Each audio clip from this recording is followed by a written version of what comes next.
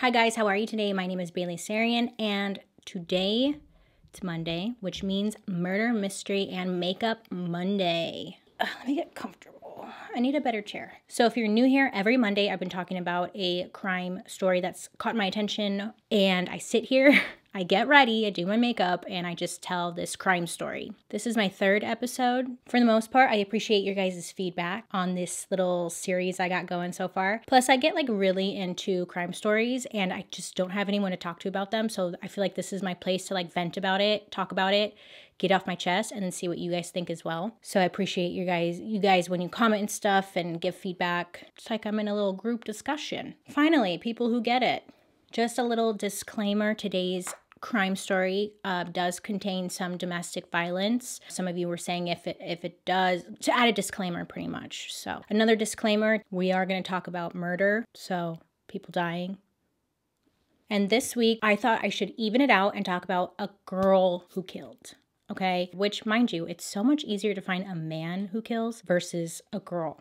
I don't know, ladies. You're really letting me down out there. So I asked Snapchat um, earlier today, like, I originally had a story I wanted to talk about, and but it was another dude, and I was like, dude, I need to find a girl who kills.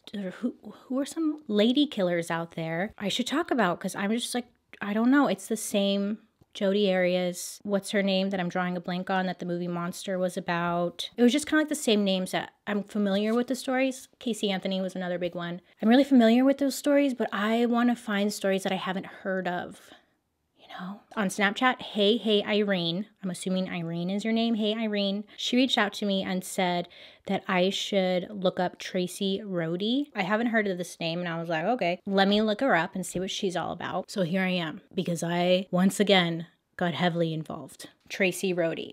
Let's get into it because the ending of this story is so Traci Rhode met Scott when they were teenagers. They dated in high school and became high school sweethearts. And at that time, they lived in Iowa. So they had been together for a very long time. The couple married in 1990, a few years after Traci had graduated high school. Scott ended up putting himself through college to become an engineer, and Traci went to college to become a nurse specializing in childbirth and delivery care.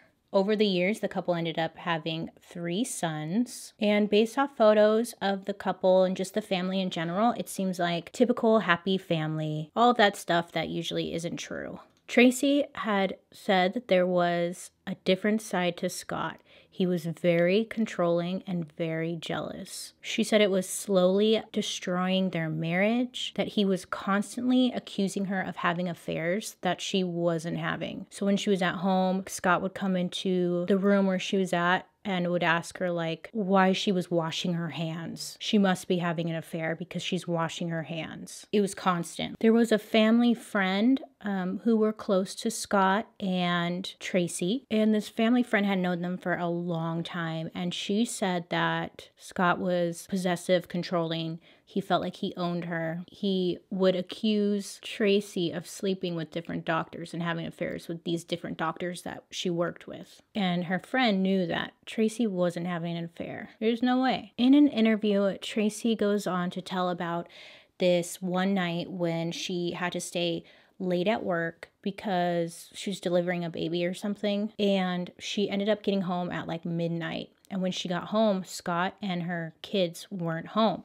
And she was freaking out, trying to call them. She called the emergency room because she thought something had happened to them. She hears the garage door open. In comes Scott, and Scott just goes off on her, accusing her of having an affair. Like that's why she was late. Scott started yelling at Traci, calling her a tramp and a whore. I'm assuming this was like in front of her kids too. And Scott said that he went looking for her that night to show the kids what a tramp and a whore their mother was. That kind of gives you an idea of their relationship, I guess. So in an interview, they ask Traci, okay, well, then why did you, which I hate this question, you know, when um, you're in a very bad relationship, they always ask, well, why did you stay? Why did you stay if it was so bad? And Traci said that she stayed because she loved him. He was the father of her babies. She said that they had just as many good times as they did bad times. And to her, it was worth working out. And honestly, like, she didn't say this. This is just my opinion. Sometimes it's just easier to stay, as like sad as that is. So throughout the years, Scott moved the family five times in 13 years. And the reason he moved so much was to really like he would get really jealous and accuse Traci of infidelity to get her away from whomever she was having an affair with. And then eventually they ended up in Texas in 2003. Traci was far from her friends and from her family, so she felt really secluded or she didn't have anybody, so he got her all to himself. But once they got to Texas, Traci ended up meeting somebody at her workplace this time it was for reals. His name was Sean Michaels, and he worked as a unit secretary in the same hospital that Traci worked at. And Traci said that he would kind of flirt with her here and there, and she always told him, she always told Sean that she was married, and Sean would say that he was just kidding. He was just messing around. I guess he just kept doing it, kept flirting with her. And then one afternoon, Traci and Sean decided to meet in a parking lot. She said that they just stood there, they were talking, hanging out. It was nothing romantic. And then when she went to go say goodbye, Sean leaned in and gave her a kiss. Ugh. Okay, this eyeliner is making my eyelids stick together. So, Sean and Traci ended up kissing in the parking lot. Traci stands by the fact that she did not have an affair when she was married, but I don't think Traci knows that, like, having an emotional affair, I believe, counts as an affair. It sounded like she emotionally was falling for this guy. And kissing in the parking lot like no it's not the same thing as having sex. But in all the interviews she says i did not have an affair. I did not have an affair.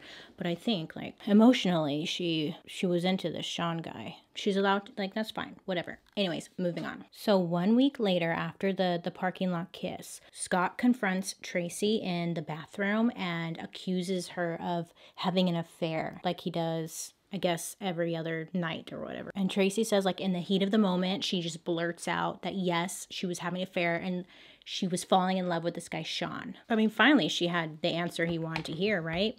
She said for the first time in her life, there was somebody, and it wasn't about sex. It was Sean wanted her and cared about her, and she just had somebody to talk to. I guess that night when Traci said that, Scott just looked at her and said, You have no idea what you've done. October 15th, 2003, police were called to the home of Scott and Traci. Inside the couple's home lay Scott with a gunshot wound to the head. Traci said in an interview that that morning she woke up really early, like four something in the morning, and she went for her morning walk. She came home, she took a shower, or she she started a shower. I don't know if she took the shower, and then she heard a moaning sound. It was then she discovered her husband in bed and he was shot. Traci said that she moved the pillow back and I saw blood and his eyes were swollen and I touched his face and said, Scott, can you hear me? By mid afternoon, it was clear that Scott was brain dead and then he soon passed away. Within hours from the 911 phone call, one of the detectives changed his mind essentially. He said that it seemed like it was an attempted suicide at first, but upon looking onto it a little bit deeper, it shifted to a possible homicide. The detective detective said that there were all the ingredients of a classic murder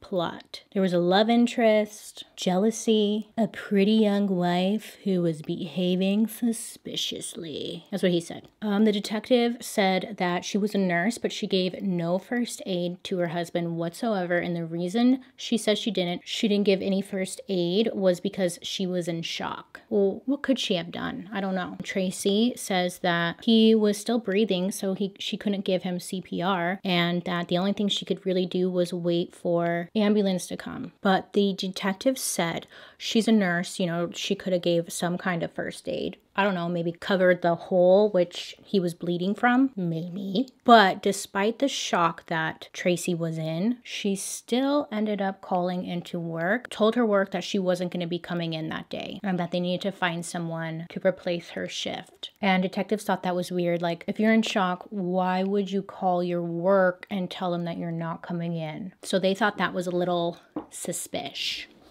People do the darnest things. So like, police and everyone were at her house, right? Traci decides to go and wash her hands. Detectives thought that was weird. Why is she washing her hands? Is she trying to wash off the gunshot residue? Traci's defense was that she could smell blood on her hands because she did touch her husband. She just wanted to get her hands clean. Traci said that she went over to the sink, she washed her hands, she just ran hot water over her hands, and she stood there and just cried. But the detectives think suspicious. So while doing some investigating, that's when detectives learned that Scott had hired a divorce attorney. Just one day before the shooting, Scott took Traci to the divorce attorney's office to have a meeting. And then that's when investigators decided to interview the divorce attorney. So that's where they found out that Scott had this plan. He was going to take full custody of the kids, and Traci would have liberal visitation. And if she chose to fight, that they would use Sean against her, the guy that she was like not having an affair with, in order to win full custody. So obviously, Traci is shocked. She doesn't want to lose her kids. She was very upset because Scott never told her that he was going to do this. And she came back and said that she didn't care if they used Sean against her because she was going to fight no matter what to get full custody of these children. She said that she loved her children and that she was a good mother, and all this was unfair. Traci then told Scott that they needed to go home and discuss this before moving forward, pretty much. The divorce attorney said that Traci was obviously very upset and that she stormed out of the office. Oh my gosh, no. I just dropped my microphone in foundation. So when they got home, they both agreed that they didn't want to put their kids through an ugly custody battle. Later that night, Scott, his mood had changed apparently, and Scott flew into rage. So Scott went and grabbed a baseball bat. He kept asking Traci, Where does Sean live? Because he was going to bash his head in with the baseball bat. And he kept screaming at Traci, tell me where he lives. And Traci kept telling him that she doesn't know where he lives. She's never gone to his house before. And then that's when Scott got physical with Traci. So he grabs her by the throat, puts his fists up to her, told her that he was going to knock the shit out of her. So once that was over, Traci goes into the bedroom. She grabs a suitcase. She starts packing and she was just going to stay in a hotel. Scott started crying and begging her not to go. And he convinced her to like stay. He said, Come lay down with me. I'm sorry. And just come like snuggle with me, pretty much. After that altercation, everything was fine. And then the next morning, Scott was found dead by apparent suicide. The detectives spent the next two years trying to find physical evidence to link Traci to this murder. Suicide, sorry. Investigators kept digging until they found a break. Something that had been staring them in the face all along. On August 11, 2005, Traci was arrested for Scott's murder.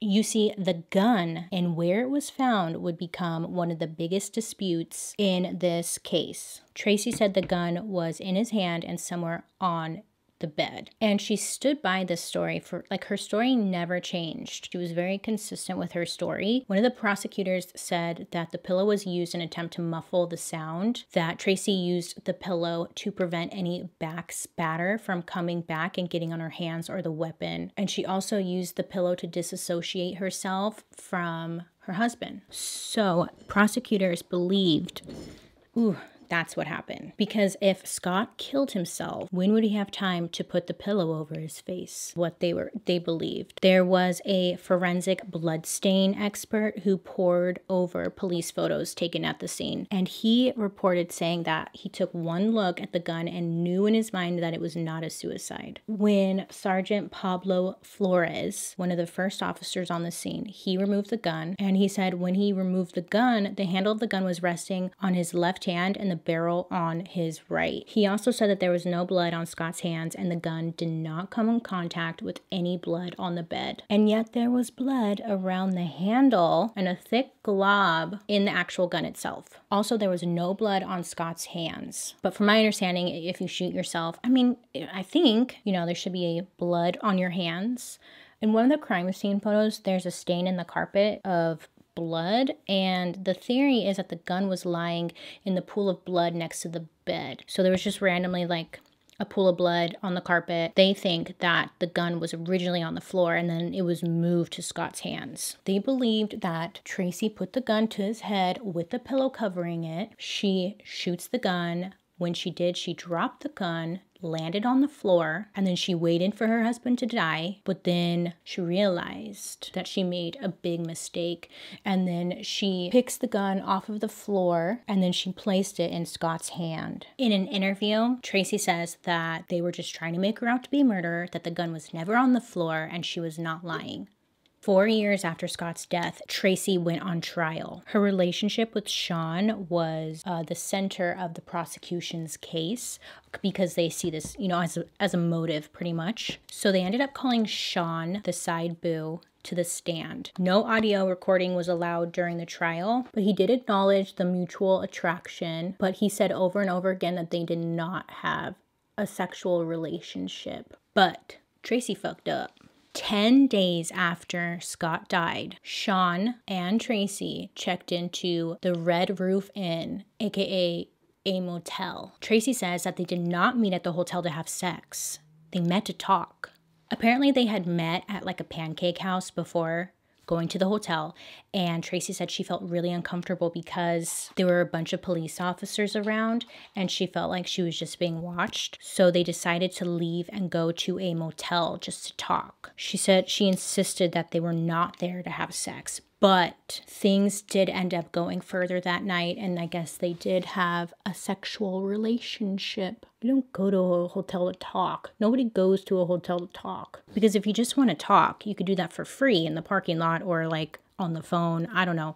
There's so many other places to talk. 10 days after he died, they did that, which did not look good. She says that she is fully aware it didn't look good, but she just needed somebody who understood to talk to. Sean and Traci, their relationship ended up lasting two years. So it lasted for a while after the prosecution showed that the gun and the gun holster fit perfectly into that stain that was on the carpet. After two days of deliberation, we finally had a verdict. The jury found Traci guilty of murdering her husband. They think, okay, she had a motive. Scott was going to take away the kids. She was also having like this emotional affair with Sean. And the only way she was going to get that is if she got rid of Scott. Okay, but look, listen, she was found guilty, right? But here's the kicker. So in Texas, the defense has the option of letting the jurors decide the punishment as well as the verdict. So they go back to the courtroom for the second phase of the testimony. This time,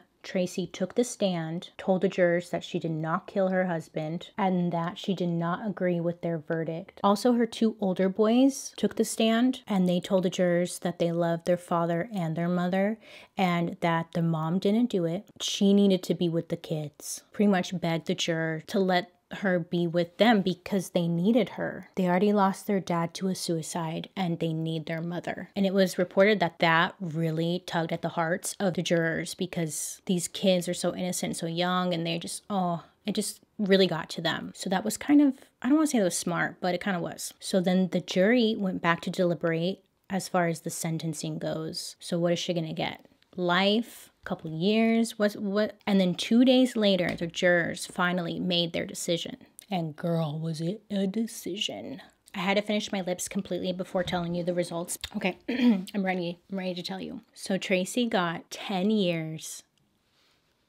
probation. Probation. Traci got zero prison time. She did spend three days in jail to give her some kind of credit, and she was also fined $10,000. So she was punished hard. Probation means that she cannot leave the county and she has an 8 p.m. curfew. Her nursing license was also revoked and she lost her job. And she stands by the fact that she did not kill her husband. And to this day, she is just, she's out, she's free okay, like my final thoughts on this after reading the different um, interviews and stuff, the ev- looking at the evidence, I think she did it. There was a good motive. I thought that was weird. Was like there was no blood on his hands or the gun. The whole thing just seemed kind of weird. I mean, did she go on a run that morning? There was no nobody like saw her run. Um, I think there was a lot of people who are torn on on if she did it or if she didn't do it. When you read about the story, all signs are like yes, she did it. And then when you watch interviews with her, you almost are like, mm, no, she didn't do it. And that's the story of Traci Rhode. And I believe she's still currently in Texas. She still has her sons and she got she got off pretty dang easy. And let's be honest here, if that was a man, pretty much anyone other than a pretty white woman, they probably would be in jail right now. Come on, let's all let's have a moment of honesty here. So I guess moral of the story is if you're going to kill somebody, do it in Texas because they have that law. The jury can decide your sentence. It's just a little confusing to me how the jury found her guilty, but then they only gave her 10 years probation. I don't know. The whole thing is freaking weird, right? And that is the story. 10 years probation. So let me know what you think down below. Do you think she did it? I would love to hear what you think about this case and just your thoughts. I hope you have a good day today. You make good choices. Please be safe out there. Take care of yourself, okay? Don't kill anybody today. Anyways, I'll be seeing you guys later. Bye.